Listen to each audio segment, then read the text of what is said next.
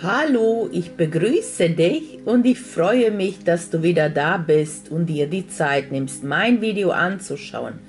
Heute am 11. März 2019 mit dem Video Was ist gerade los? Also bei dir natürlich und bei deinem Seelenpartner. Also viele sind oder viele befinden sich in einem äh, Seelenpartner, Dualseelen, Zwillingsseelen ähm, Prozess und natürlich seid ihr auch immer gespannt, wie es weitergeht und ähm, belastet euch dieser Prozess und dieses Video soll dich begleiten oder euch begleiten auf diesen Weg der Entwicklung auch. Und wie du siehst, also ich habe heute hier auch wieder meine Skatkarten dazu mitgebracht und ich bitte dich, dass du dich voll und ganz heute dafür einstimmst, also schließe deine Augen und tauche in der Energie der Kristallschale ein und konzentriere dich dabei auf deine jetzige Situation.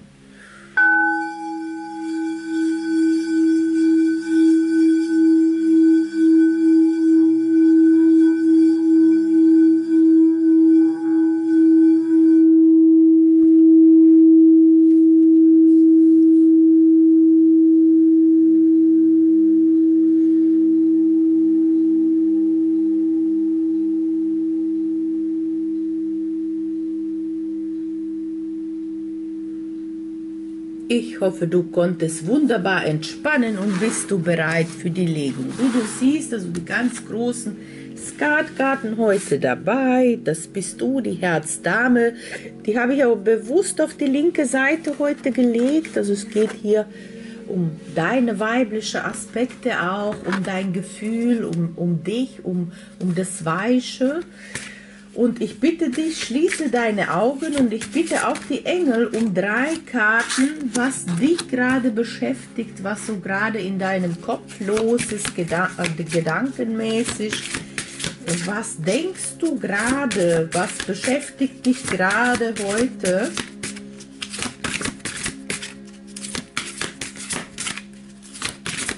So, bitte noch um eine Karte. So, jetzt natürlich, was fühlst du heute, liebe Engel? Bitte um drei Karten, was meine Zuschauerin hier oder Zuschauer gerade auf der Herzebene fühlt. So. Und natürlich, wie geht es weiter? Das ist auch ganz, ganz wichtig. Oder was kommt jetzt so von außen als Hinweis oder was erwartet dich heute? So im Außen, ja. So, und ich würde auch parallel direkt für deinen Seelenpartner die rechte Seite auslegen, wie du auch siehst. Also habe ich hier schon die Karte ausgewählt. So, das ist der Herzkönig. Und natürlich auch hier bitte ich die Engel um drei Karten. Was denkt dein Seelenpartner? Gerade im Kopf, was ist gerade bei ihm los? Welche Gedanken beschäftigen ihn?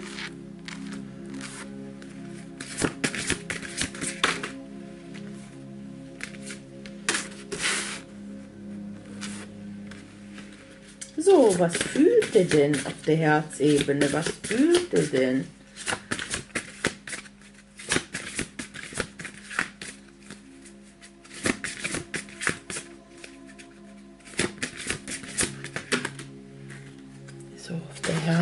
Herzebene.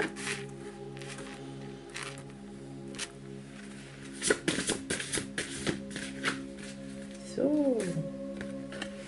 Und natürlich, wie zeigt sich das im Außen?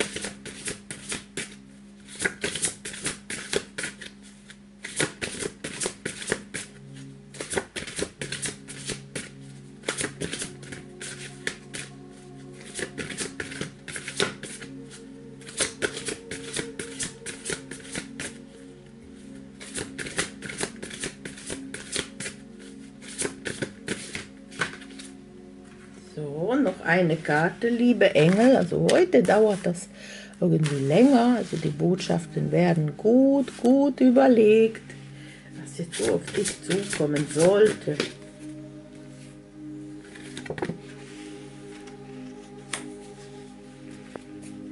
So, und dann beginne ich mit deiner Seite hier, also was dich beschäftigt, was denkst du gerade bezüglich deines Seelenpartners heute und wie geht's dir dabei, welche Gedanken beschäftigen dich, welche Gefühle kommen in dir hoch. Gut. Heute beginnt ja auch die neue Woche, so ein ganz neuer Energie. Und hier auch der letzte Kartendeck hier. Sehr gut. Und natürlich deinen Seelenpartner decke ich auch auf. So, was denkt er denn?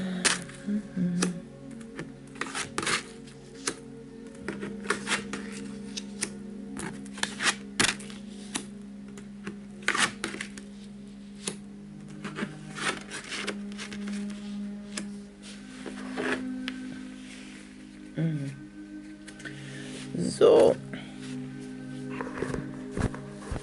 So, ich hoffe, du kannst hier das also gut sehen.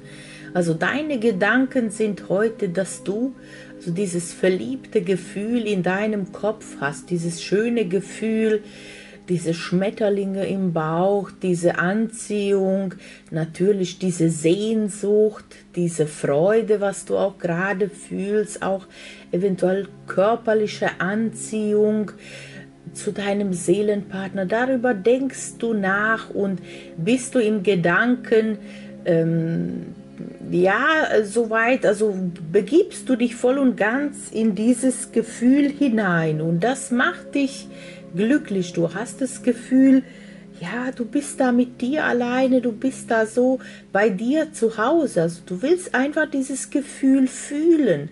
Und das denkst du auch in deinem Kopf. Das gibt dir auch so eine gewisse emotionale Erfüllung heute. Das ist dann, wenn du Zeit hast, dann gehst du in dieses Gefühl voll und ganz rein. Also das beschäftigt dich heute voll und ganz. Und genießt du dieses Gefühl, soweit es geht, weil also es kommt immer wieder noch etwas hoch, wo du dich daran erinnerst, an dieses Ärger und dass es hier nicht weitergeht. Also da kommt halt dieses negative Gefühl bei dir hoch und das stört das Ganze, ähm, das ganze Schöne, was dich gerade bewegt. Also man könnte hier auch sagen, ja, also wird dir diese Blockade bewusst, dass es hier irgendwas geben ähm, muss, dass es hier nicht weitergeht, weil du sehnst dich so danach und es sollte auch so für dich weitergehen. Was fühlst du in deinem Herzen? Also du bist ganz traurig, auch sehr Tränen nach. Also du bist äh, wirklich traurig und du ärgerst dich auch irgendwie. Bist du reizbar eventuell heute oder ärgerlich oder schlechte Stimmung? Hast du schlechte Laune und das trübt wirklich dein Glücklichsein. Also, dass du jetzt wirklich glücklich bist und dieses Glück auch spüren kannst, das trübt deine Gefühle so im Großen und Ganzen. Also, das ist äh, nicht so gerade schön. Ne? Also wie, wie du dich jetzt gerade im Herzen fühlst. Und du möchtest, endlich möchtest du zufrieden sein. Endlich möchtest du loslassen. Du möchtest endlich ähm, ankommen, dieses zufriedene Gefühl auch in dir spüren, dieses glückliche Gefühl in dir spüren. Und da diesbezüglich hast du auch konkrete Pläne. Also du weißt ja auch, was dir auch hier helfen könnte oder was dir auch helfen würde. So im Außen, wie sich das Ganze zeigt, also im Außen zeigt sich hier also das Vertrauen und ähm, das größte Glück, in der Partnerschaft, eventuell auch Ehe. Dann zeigt sich hier die Veränderung oder die Karte Rückzug und natürlich auch zeigt sich hier entweder bei dir noch ein Partner, an alle, die noch einen Partner haben wo der Partner auch eventuell eifersüchtig ist, zeigt sich hier im Außen. Wenn du keinen Partner hast, dann bedeutet das für dich, so was auf dich zukommt, dass es halt, dass du immer mehr in diese Beziehung, in diese Partnerschaft mehr in Vertrauen kommst und dadurch wird eine Veränderung stattfinden, auch bei dir, also eine Veränderung, du wirst dich etwas zurücknehmen, dennoch kannst du dadurch, durch diese Veränderung, kannst du auch wunderbar diese unterdrückte Gefühle überwinden. Also du kannst dir diese Gefühle bewusst machen. Du kannst auch ähm, diese Angst rauslassen und auch dieses Eifersucht anschauen, was es mit dir macht. Also du kannst es bewusst anschauen, alles. Und hier die Herz 8, also du kannst das auch wunderbar wirklich deine Themen in Heilung bringen. So die Anziehung spürst du ganz, ganz stark heute. Und also das gibt dir das Gefühl, ja, so glücklich zu sein, aber du weißt nicht, wie du dieses Gefühl auch zeigen sollst. Also das beschäftigt dich, dass du das nicht leben kannst, dass du das nicht, ähm, also wirklich mit deinem Seelenpartner leben kannst, in, zur Zeit, ja. Du ärgerst dich auch darüber, aber trotzdem, also kommst du immer mehr ins Vertrauen. Es ist auch wichtig, dass du in diesem Prozess trotzdem vertraust, dass alles so seine Zeit hat. Wenn das jetzt gerade noch nicht stattfindet, dass da noch nicht die Zeit dafür reif ist, dass vielleicht auch dein Gegenüber noch ganz viele Themen hat, die er anschauen möchte. So, was nehme ich hier noch wahr? Also ich nehme hier wahr, dass es halt hier die Blockade da ist, diese Tränen und dieses Ärger, was dieses tolle Gefühl von Verliebtheit und Beziehung so ein bisschen stören, weil das halt momentan ähm, ja nicht so fließt zwischen euch, wie, wie du dir das wünschen würdest. Dann spielt auch hier das Zuhause bei dir eine große Rolle. Eventuell ziehst du dich heute bewusst bei dir zu Hause zurück, also begibst du dich im Rückzug und findest du irgendwie etwas, was dich glücklich macht. Also entweder, dass du dir ähm, ja, einen schönen Film anschaust zu Hause oder irgendetwas Schönes findest, liest du heute was Besonderes, dass du dich davon so ein bisschen ablenkst und dich glücklich, selber glücklich machst, es kann aber auch sein, dass du dir was Schönes gönnst, dir ein paar Blumen holst oder irgendwie im Frühlingsdekoration für dich bereitest. Also auf jeden Fall zu Hause, Rückzug zu Hause bei dir. Also wo du dich darüber ärgerst, du ärgerst dich äh, darüber, dass hier kein Erfolg stattfindet, weil der halt auch dein Gegenüber sich so kühl für dich zeigt, so kühl und reserviert und zeigt seine Gefühle nicht und das ärgert dich, weil das also nicht erfolgreich so weitergeht zwischen euch. Das ist jetzt gerade bei dir heute, was dich beschäftigt. Bei deinem Seelenpartner, also bei deinem Seelenpartner, das ist ähm, jemand, der also wirklich an sich auch arbeitet. Also ich sehe das hier, also im Kopf, ihm ist das bewusst, er arbeitet an sich selber und ähm, du wirst auch darüber Nachrichten erhalten, auf welche Art und Weise auch immer. Und wenn das jemand für dich erzählt oder erzählt oder mitteilt oder du erfährst auf eine andere Art und Weise, also Nachrichten sind hier, also du wirst es erfahren, dass er an sich sehr ähm, viel arbeitet, auch an seine Gefühle, also dass er da so wirklich in der Tiefe geht.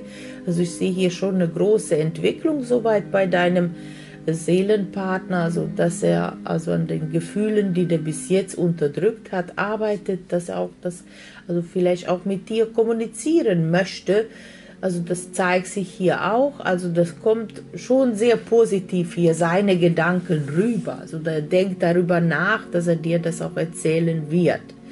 So, auf der Herzebene nehme ich bei ihm halt die Familie wahr.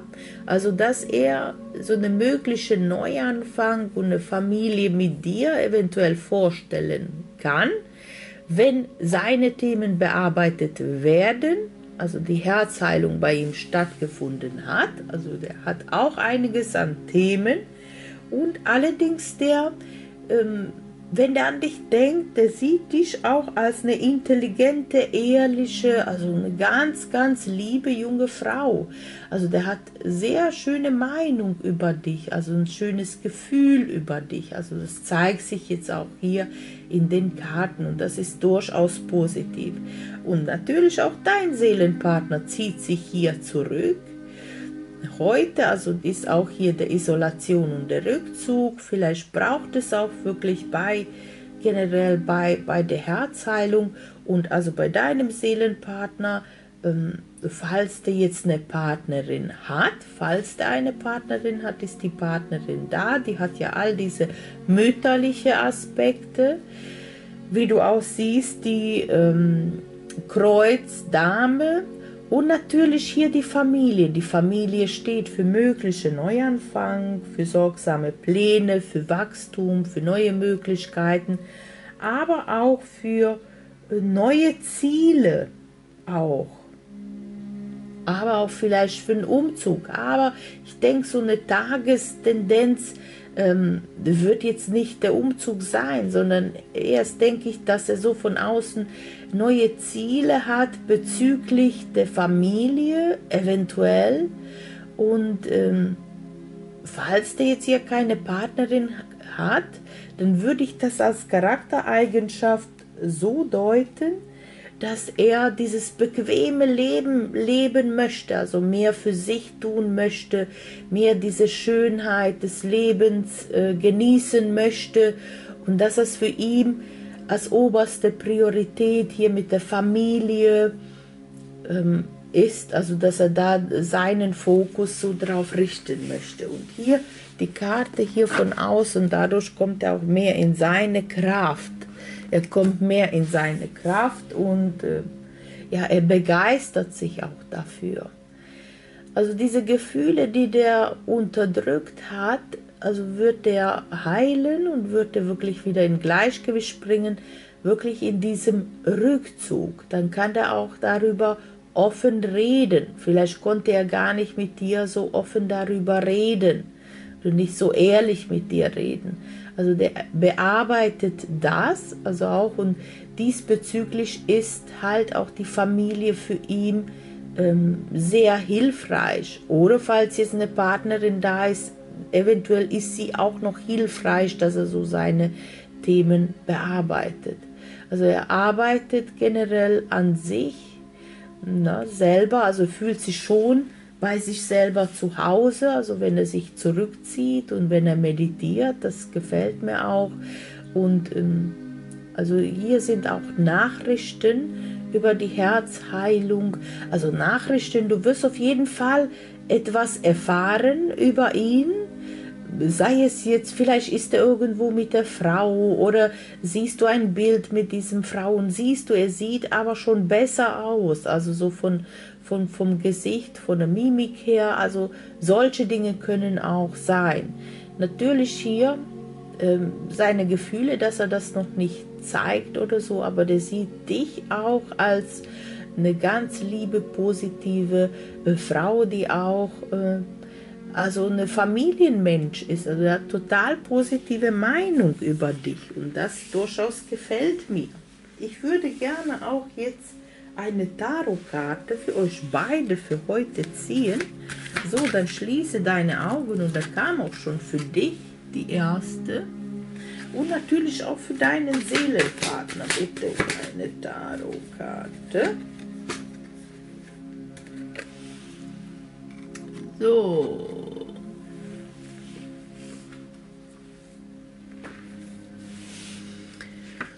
So, Ritter, der Ritter der Stäbe, also ist für dich gekommen. Moment, also Stäbe, Stäbe, Stäbe, Sekunde.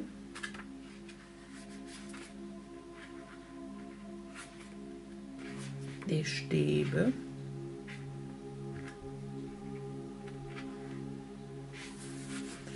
Ja, also es geht um Transformation, also um Dynamik heute bei dir Es geht um starke kreative Energie um, und um Feuer. Also du wirst heute ähm, volle Kraft und volle Energie sein und setzt alles daran herauszufinden, wo und wie du die, das einsetzen möchtest in dein Leben, diese Kreativität und diese Energie, was jetzt heute so bei dir jetzt hochkommt. Und fühle auch in dich hinein, wohin drängt es dich am stärksten, was macht dir am meisten Freude? Und in welchem Rahmen könntest du deine Ideale verwirklichen, dass du dir wirklich bewusst wirst, ähm, ja, was möchtest du heute auch, wo möchtest du diese Kreativität und diese Energie einsetzen? Und ja, und bringe diese Energie und diese Kraft zum Ausdruck, egal wie auch immer, also für dich. Und natürlich bei deinem Seelenpartner kommt auch wieder eine Münzkarte und Münzkarte ist ja immer, also hat auch was mit, mit ähm, Materielle und Fülle auch zu tun. Also für ihn kommt die Umsicht, also Sonne in Jungfrau, erblühende innere und äußere Reichtum, Weisheit, Entfaltung, Sor Sorgfältigkeit, Umse Umsicht geschehen lassen. Also der genießt momentan sehr diese innere und äußere Fülle. Das ist, was in dir zur Entfaltung strebt. Es ist von existierender Schönheit und Zartheit, gewähre ihm den Schutz und die Nahrung, die es braucht. Du brauchst nicht zu forcieren, alles entfaltet sich zur richtigen Zeit. Siehst du, also umso mehr er loslässt, umso mehr er bei sich zu Hause ankommt, umso ruhiger er wird und umso mehr seine Themen heilt, umso mehr wird das sich auch entfalten bei ihm zum richtigen Zeit.